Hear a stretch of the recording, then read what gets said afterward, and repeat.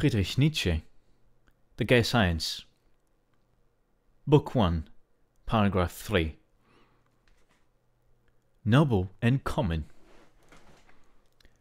For common natures, all noble, magnanimous feelings appear to be inexpedient and therefore initially incredible. They give a wink when they hear of such things and seem to want to say, Surely there must be some advantage involved. One cannot see through every wall. They are suspicious of the noble person, as if he were furtively seeking his advantage. If they become, all too clearly, convinced of the absence of selfish intentions and gains, they view the noble person as a kind of fool. They despise him in his pleasure, and laugh at the sparkle in his eye. How could one enjoy being at a disadvantage? How could one want with open eyes to be disadvantaged? Some disease of reason must be linked to the noble affection. Thus they think and look disparagingly. The way they disparage the pleasure that a madman derives from his fixed idea.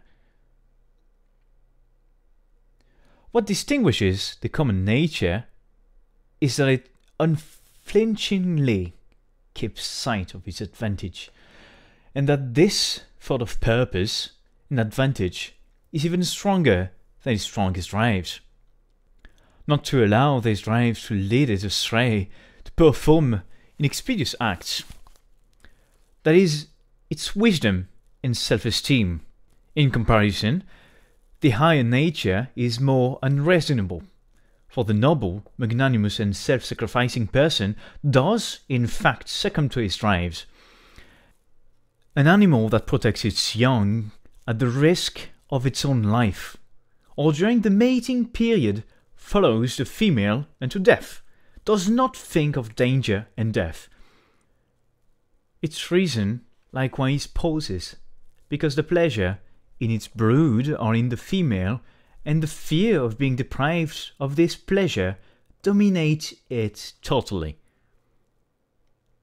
The animal becomes stupider than it usually is, just like the person who is noble and magnanimous.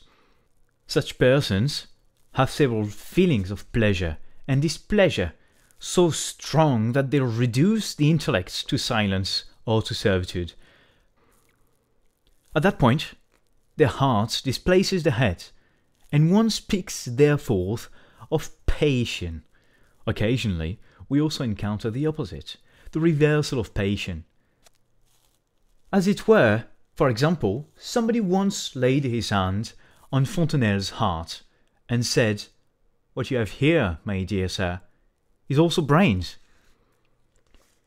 The unreason or odd reason of passion is what the common type despises in the noble, especially when this passion is directed at objects whose value seems quite fantastic and arbitrary.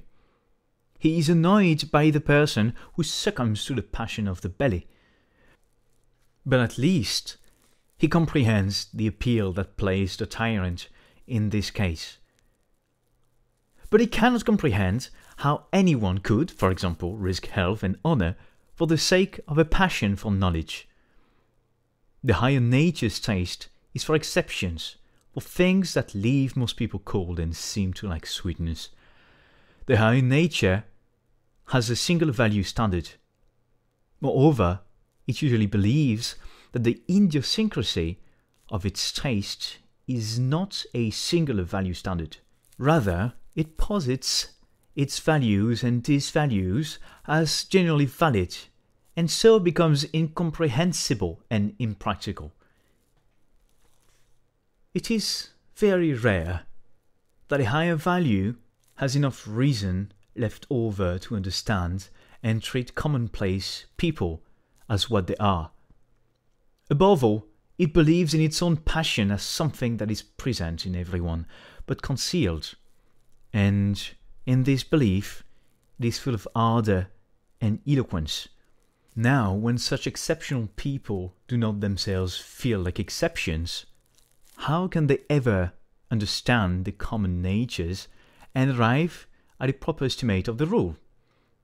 And so they too speak of the stupidity, inexpediency, and fancifulness of humanity, stunned that the world is taking such an insane course, and that it will not commit itself to that which is needful. This is the eternal injustice of the noble.